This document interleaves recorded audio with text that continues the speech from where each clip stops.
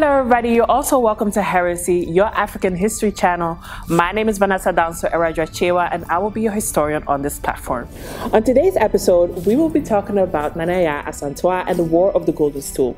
Now, before we actually get into this episode, I think I should give you a little bit of a background of why this war was so important, or why this stool was so important to wage a whole war over. Well, back in the 1600s, um, there were these two sets of people. There were the Denkyira people and there were the Asante people, and they didn't really get So there was also this king, and he was called Nana the First, and he was the king of the Asante people, and he needed a little bit of help. So he consulted Okomfo that is his traditional priest back in the day, and he could do miraculous things. He could do a lot of amazing things. So he consulted this friend, and Okomfo said, Okay, well, he's going to chant and he's going to command a stool to fall out of the sky. And when that happens, it's going to harbor all the souls of the Asante people, and it's also going to have protecting powers for the Asante kingdom. So it should always be protected and it should never be defiled or captivated. So that's the reason why there was this whole war over the golden stool with Nana Yaa Asantewaa. So I hope you like the story, um, and I'll see you in the narration of it. Bye.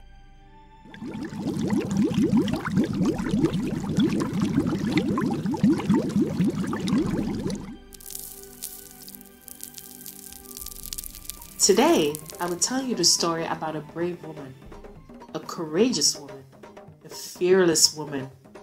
She was a woman full of integrity. She was patriotic, and nationalistic. She was just and highly allergic to nonsense, like Chisano Uchi and Kwasiasan. She was a strong woman, and today she is a true legend to be remembered and celebrated. This is a story for those who knew and forgot, and for those who never knew it at all. This is the story of Nana Yaa Asantewaa. Now, Nana Yaa was a lady that was born in 1840. Now, there are several reasons for her popularity. First and foremost, she was appointed Queen Mother of Edreso of the Ashanti Empire by her brother Nana Akwasi Afrani Okpese, who was the Edreso Hene back then. However, unfortunately, he died in the Civil War. On top of that, she was also grandmother of Nana Afrani II, who was king of Edreso. On top of that, she was a gatekeeper of the Golden Stool she became commander in chief of the Asante army, and she fought in the final war against the British rule. Now, what is a golden stool, you may ask? It is important to remember as I continue to tell you the story. See, the golden stool is believed to be the, the most sacred symbol of the Ashanti people, simply because it is believed that it harbors all the souls of the Asante people and it unifies all of them. Hence, and makes it sacred.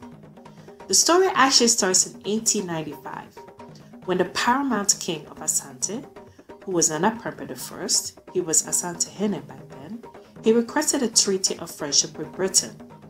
However, there was this British man, his name was Sir Francis Scott.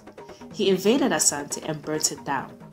On top of that, he arrested Nana Prempeh I and his family and other senior kings and shipped them all off to an island called Seychelles. It is believed that among those people that were shipped off was Nana Afrani II, king of Edreso, but also the grandson of Nana Asantewaa. Now there was this British man, a British governor to be exact, and his name was Sir William Maxwell. And he really, really, really, really, really wanted the golden stool. He wanted the golden stool so bad that they had to make him a fake one. So by the time he returned to Britain, he realized then that he didn't have the real one, but he had a fake one. So you can imagine he wasn't really happy. On the 28th of March 1900, a new British governor called Sir Frederick Hodgson, he called a meeting for all the kings and queens to attend in the British fort in Kumasi. And basically what he said in that meeting was, why haven't you brought me the stool? I represent the highest power, Queen Victoria of England and Ireland, Empress of India. Give me the stool, I want to sit on it. And if you don't give me the stool, well, then I'll just make your life a living hell until my troops find it. Oh, already, Asimbeni. Apparently, this man had absolutely no idea of what he was asking. He had absolutely no idea of the magnitude of the sacredness of the stool. See, you can't just sit on the stool because kings don't even sit on the stool. The stool even has its own stool, for Christ's sake. And then the fault, he didn't know. Anyways, after that, Nana to called a meeting with the remaining kings to talk about how to solve the issue and some of the kings suggested that perhaps, maybe, they should beg the British to return the king back to them. They seemed rather cowardly, and she got so annoyed and basically said, Ah! Madimo ho yao papa. Abufu sem kwakwa.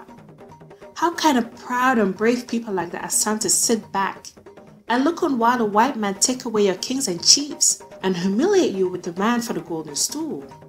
The golden stool only means money to the white man, and that is why they have searched everywhere and dug everywhere for it. Missy mean mean credit and then I'm credit or china to the governor. So she basically said, I shall not pay one pejuan. If you chiefs are going to behave like cowards who are too frightened to fight, and amuntu madanta mame, namunjemetam, meaning then exchange your loincloths with my undergarments. It was safe to say she was quite pissed off. So then the chiefs realized, hey, Shwakastamo, Charlie, we better shape up. She really told us. So it was then that Nana Yaa declared war, and it was not a pretty sight. Approximately 3,500 people were trapped in the Kumasi fort.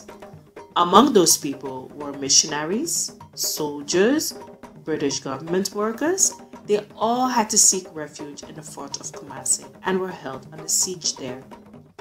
But because the walls of the fort were too thick, the Ashantis couldn't get to them, so she had to think of another idea. So she thought maybe if they could block all traffic going in and outside the fort, that would be more effective. So she blocked all traffic going in and outside the fort, so food supply inside the fort was getting low there was no meat, so they had to eat rats and mice. Ammunition was also running low, water was running low, diseases like smallpox and yellow fever was rising, so the death toll was also rising. So two months after the siege, Nana Asantewaa decided to let the sick people go and the women, not knowing there was a message sent out with it. Now this message reached the Cape Coast, then Nigeria, and then Sierra Leone. Then a large and strong army was mobilized to Kumasi and broke the siege 11th of July 1900. By 1901, all the kings were arrested except for Nana Yaa Asantewaa. Then there was this other British man, his name was Captain Wilcox, and he ordered the arrest of Nana Yaa's only granddaughter, which caused Nana Yaa to surrender because it is Nana Yaa that you're looking for and not her granddaughter, so she had to surrender. When she surrendered, she was stripped almost naked. They took her gold waistband and her stool, which was her symbol as authority as queen. She was sent to the island Seychelles to, to join her grandson Nana Afrani II. And even though she was arrested, the purpose of her fight was still achieved because the stool didn't go anywhere, it still remained. She passed away in Seychelles 17th of October 1921 two years before Nana Prempeh and the others were returned back to the Gold Coast. This was the story of Nana Yaa Asantewaa. Indeed, she was a courageous woman, and indeed, she was a true gatekeeper of the Golden Stool. I will be telling you the story of the legendary Okomfo Anokye and the rise of the great Ashanti Kingdom. Now, most of us know about the legendary Nana Yaa Asantewaa and her great courage and fearlessness she showed during the war to protect the Golden Stool. However, I'm pretty sure that some of you are still wondering what the Golden Stool even is and what makes it so incredibly special to declare a whole war over if push should come to shove. And I'm a Bwana. Well, it is believed that the golden stool, or also known as Sika Dwa Kofi, harbors all the souls of the Ashanti people, making it the very heart of the Ashanti tribe. And since it fell out of the sky on a white cloud of dust on a Friday, hence Kofi, it made it not only a sacred object, but also a spiritual one. See, the golden stool has a specific function, and this is to give prosperity and strength to its people. So when the Ashanti would go to war, they would never lose a battle because of the protecting powers of the golden stool. Now allow me to tell you how the stool actually came to be. Okay, so in the 1600s, there was no peace between certain Akan states, especially between the Ashanti and the Denkyira people. Now, there was a great king called Nana Osei Tutu I, who became the very first Asantehene, and he had a close friend called Okomfo Anokye, who was a chief priest. And according to some literature, he was even acknowledged as the most feared and respected traditional priest from that time. His original name was Kwame Anokye Frimpong Kotobre, but I will simply refer to him as Okomfo Anokye from here on out. He performed a historical ceremony that was and still is a major milestone in the Ashanti Kingdom, simply because the Ashanti Kingdom truly came to its very existence after this event. So, according to the legend, on a fateful Friday in the late 1600s, or Efiada in the Akan language, Okomfo Anokye consulted the heavens and requested for spiritual guidance in order to help the Ashanti people to unite all the chiefs against their hostile neighbors, the ruling Denkyira. Before they became to be known as Ashanti, they were actually individual Akan states governed by independent chiefs. Okomfo Anokye proclaimed that the only way one could be released of its yoke or oppression is to come together and to form a union. So this is what they did next. They summoned all the paramount chiefs together for a grand meeting. Okomfo Anokye said that the gods would be consulted for assistance in this matter and that the gods themselves would decide who would be the leader of this union. He then continued to say that he will command the stool to fall down from the sky, and unto whom it may land will be the chosen one to lead this union. So after all was said and done, Okomfo Anokye started to dance and to chant, and then lo and behold, the golden stool descended from the sky, and this landed on the lap of Nana Osei Tutu I, which automatically made him the king of all the kings that came together. And therefore, if the gods have spoken that Nana Osei Tutu I should be the leader, then so be it. After all, who are humans to go against the gods? Okomfo Anokye then continued to speak and said, This stool is going to represent all the souls of the Shanti people. Then the chief priest proceeded with the rituals. He gathered hair and fingernails from all the chiefs and made a concoction. Then performed a sacred ritual and mixed the concoction with palm wine for all the chiefs to drink. And it was this very act that sanctified the golden stool. However, this did come with a fierce warning. Okomfo Anokye made it crystal clear that if the golden stool should ever be defiled or captivated, then the Ashanti would lose their power and there will be nothing left but chaos. So after this event, the Ashanti people went to war as a united front and they defeated the Denkyira people, just as it was prophesied they would.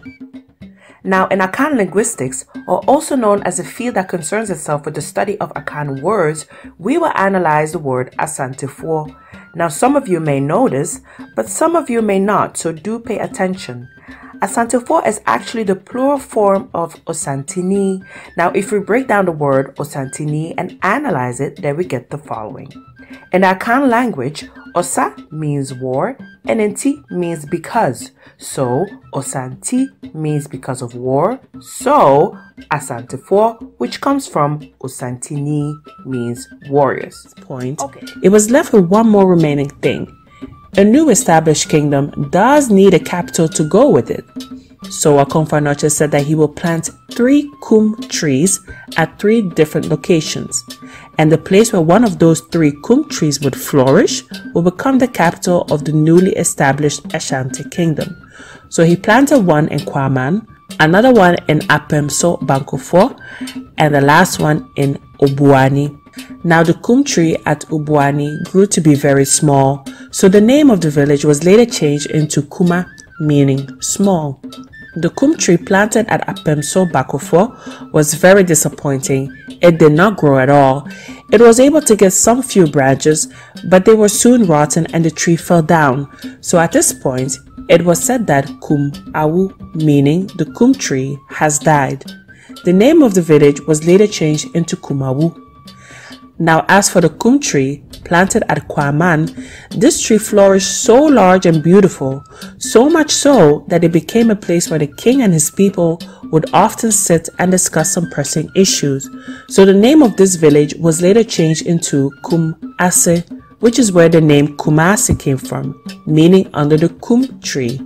And now, the flourishing Ashanti kingdom, which came to its very existence through the prosperity powers of the golden stool, was now completed.